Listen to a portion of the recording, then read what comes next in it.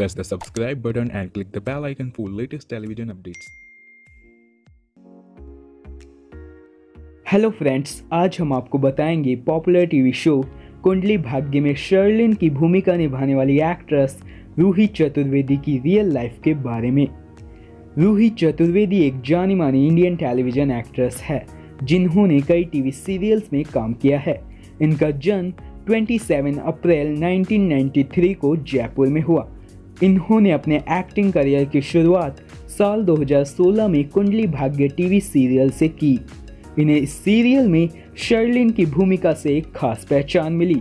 बाद में ये हमें कई टीवी सीरियल्स में भी दिखाई दी।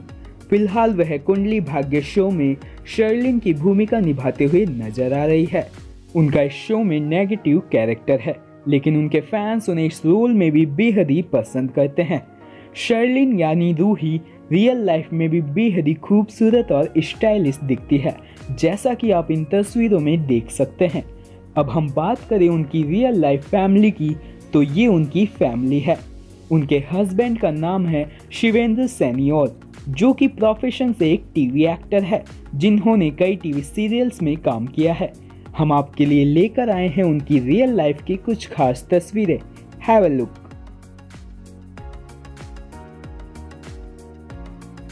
हम आपकी जानकारी के लिए बता दें कि रूही ने 2 दिसंबर 2019 को शिवेंद्र सैनियोल के साथ शादी की थी।